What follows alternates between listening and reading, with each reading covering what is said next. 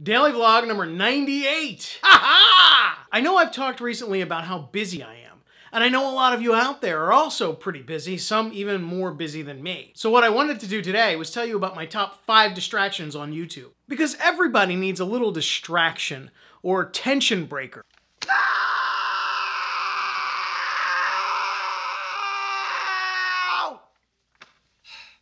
Tension breaker had to be done. Yeah, like that. So while I've been more and more involved in this YouTube thing, I found a lot of people in the whole YouTube community that have provided me with some pretty good distraction material. So I thought I'd share my favorite ones as of today with you.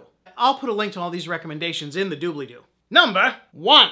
The Geek and Sundry network actually has two of my distractions, but I'm counting them as one because once you get on their network, you'll be browsing around through a lot of their videos and distracting yourself far more. But what I recommend is that you start with tabletop. If you're into board games, this is the show for you. Wil Wheaton, who played Wesley Crusher on Star Trek The Next Generation, do I really have to say who he is? Come on, geek up. Invites some of his famous friends over to play a variety of different board games. No Monopoly or Parcheesi here. These are some of the most innovative board games that are out today. And watching them play is a lot of fun because not only do you get to see the fun that they have while playing it, but you actually get to learn a lot about the games, and honestly, you kind of get tempted to buy them, which I've done a couple, and gosh, they're fun. Second on that network is a scripted superhero show called Caper, where a bunch of superpowered beings get together to pull off a heist.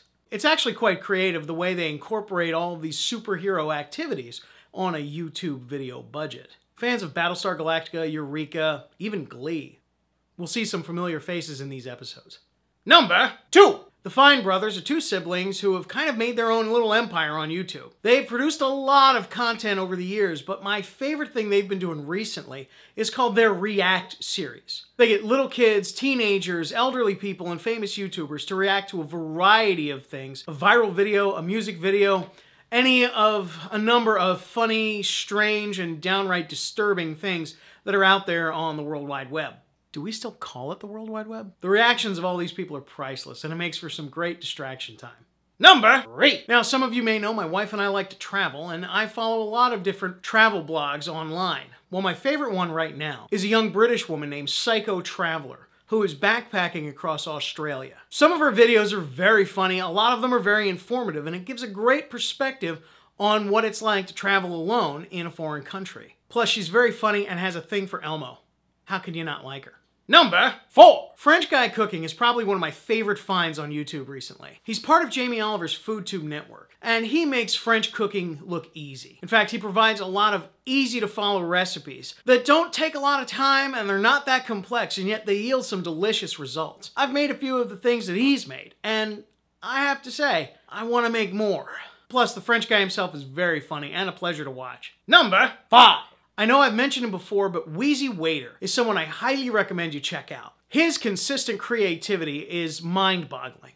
How he comes up with all of his ideas, from his clone army to his time machine to all of these other things that he incorporates into his regular videos. It astounds me and inspires me. He's part of the reason why I decided to do these vlogs in the first place, because he made it look so much fun. Plus, he has an awesome beard.